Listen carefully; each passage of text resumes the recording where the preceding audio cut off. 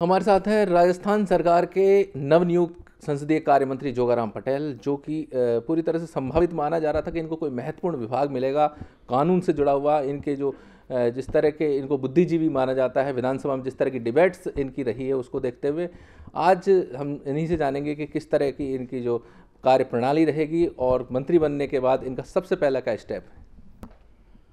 सबसे पहले तो मैं आपके प्रति चैनल की मार्फत मेरे सभी दर्शकों का, मतदाताओं का, समर्थकों का आभार व्यक्त करता हूँ। मेरे शीर्ष नेतृत्व और आदरणीय मुख्यमंत्री जी का भी आभार व्यक्त करता हूँ। उन्होंने मुझे ये सेवा करने का अवसर दिया। हम इसको सेवा का अवसर मानते हैं।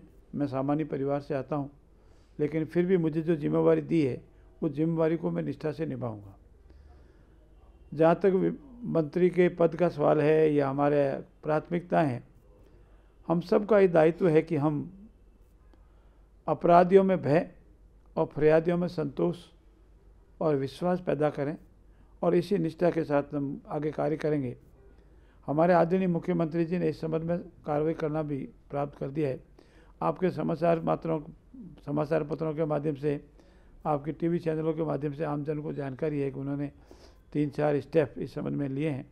हम आपको विश्वास दिलाते हैं कि राजस्थान भ्रष्टाचार मुक्त होगा ज़ीरो टॉलरेंस नीति को हम अपनाएँगे अपराधियों में भय होगा और कम से ये तो नहीं कहता कि अपराध पूर्ण रूप से ख़त्म हो जाएगा लेकिन कम से कम अपराध होगा और अपराध अगर अपराधी अपराधी अपराध करेगा तो शीघ्र उसकी सज़ा दिलाएँगे। अच्छा पिछली गहलोत सरकार में कई काम हुए थे जिनकी विरोध रहा था विपक्ष में रहकर तो उनको किस तरह लेते हैं और उस पर आपका क्या स्टेप रहेगा? देखिए हमारे आदरणीय मुख्यमंत्री ने इस संबंध में आपके सभी चैनलों के मार्फत से जनता को संदेश दिया है। कि जो जन उपयोगी योजना है, उनको बंद करने का कोई इरादा नहीं।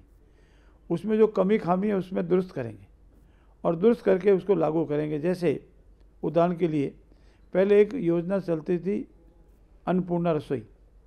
उसको इन्होंने नाम बदल दिया, उसमें अनेक तरह के परिवर्तन कर दिए। उसका कोई फ़ायदा जनता को नहीं मिल रहा है। अब हमारे मुख्यमंत्री जी ने उसमें संशोधन करके उसका नाम दिया है, श्री अन्न योजना। चालीस चार सौ ग्राम की जगह उन्होंने छः सौ ग्राम कर दिया है, जो अन्न मिलेगा।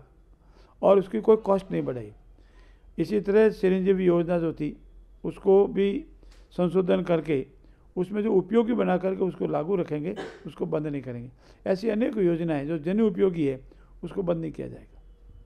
तो ये थे संसदीय कार्य मंत्री जोगाराम पटेल, जिनका कहना है कि अपराधियों में खौफ होना चाहिए कार्यप्रणाली पूरी तरह से निष्पक्ष और भ्रष्टाचार मुक्त होनी चाहिए और इन्होंने ये भी विश्वास दिलाया कि पिछली गहलोत सरकार में जो जनउपयोगी जन कल्याणकारी योजनाएँ उनको बिल्कुल भी बंद नहीं किया जाएगा, बस उनकी समीक्षा की जाएगी और उनमें जो कोई कमियाँ होंगी, उनको दूर किया जाएगा। फ़िलहाल कैमरामैन अंशुल के साथ, विजय वर्मा, जनता दरबार न्यूज़ के